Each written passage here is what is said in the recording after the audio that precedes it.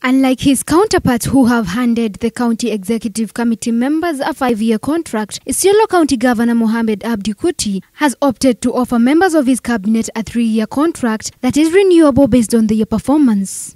Addressing members of the public during the swearing-in ceremony, Governor Kuti said that the implementation of performance contracts will continue to be a definite strategy for turning around the performance of the public service in order to achieve accelerated economic development and improve the standards of living. Implementation of performance contracts will therefore continue to be a deliberate strategy for turning around the performance of the public service in order to achieve accelerated economic development and improve the standards of living of our people.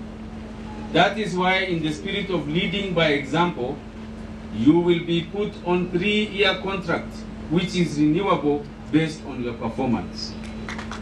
He demanded maximum accountability and transparency in the management of public funds and resources. The county boss called upon Isiolo residents to play an active role in ensuring that the public service is efficient and accountable.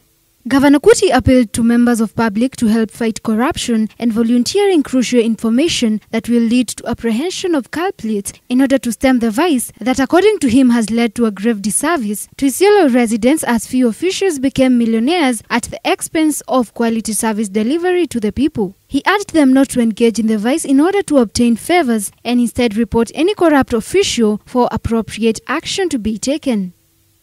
We must also ensure maximum accountability and transparency in the management of public funds and resources. I also expect all our people to play their role in ensuring that our public service is efficient and accountable.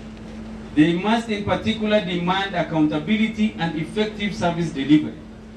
At the same time, I especially appeal to our people to actively seek to fight corruption which has remained a key challenge in service delivery in this. He noted that corrupt people will also be blacklisted so that they will never transact any business with his administration. Wamboingatia Focus TV, Isiolo County.